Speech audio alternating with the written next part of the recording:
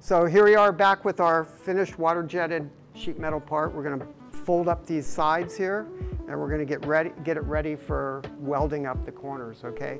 Now, I would highly recommend that you grind off all this rust before we, before we bend these things. We're going to go ahead and just fold this thing so you can see how to do the folding, all right?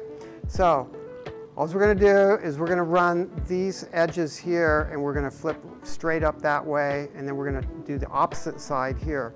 So the way we line this thing up is right here on this, this little separation here is the fold point, all right? So if you take a look at that, you'll see that is where the fold is going to be, where the, right where that line is at. So I'm going to try and make that line appear just to the face of, of this surface and this surface. That's how I'm going to line this thing up.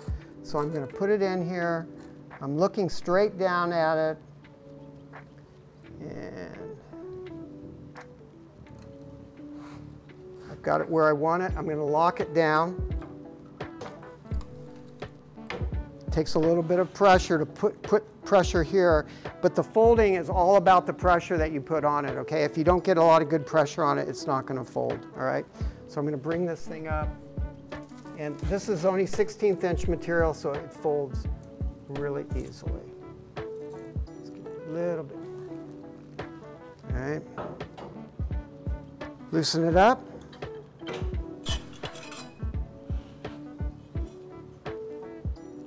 What do you think? Mm, not too bad.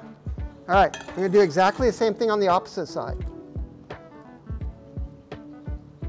Clamp it.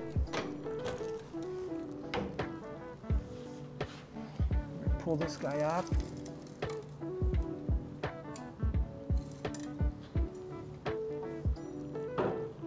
It's a little easier to put a little bit more bend in it than to take the bend out of it if you go too far, all right?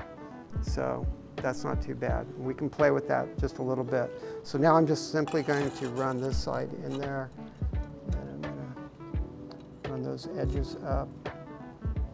Essentially lining it up the same way I did the first time.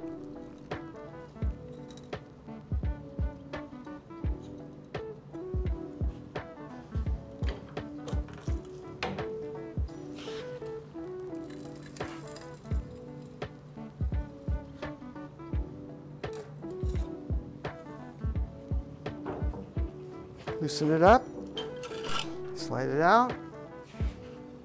Starting to take shape pretty nicely.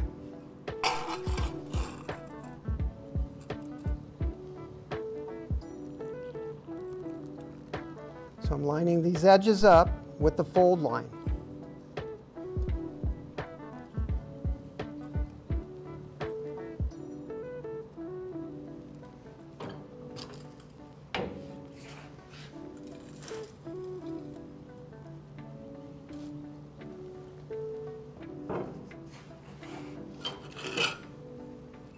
Voila, folded sides. So we have the makings of Josh's box. All right, now, you're gonna find out really, really quick if you forget to grind off the rust before you fold it, it's gonna be a lot more work to do, okay? Now, if you're not gonna, if you don't care about the inside and you're not gonna weld the inside, probably doesn't matter. And you know, it's not too bad to clean up the outside, but if you've got to clean up the inside to do some welding, you're going to have a hard time. So anyway, take that as a consideration. All right.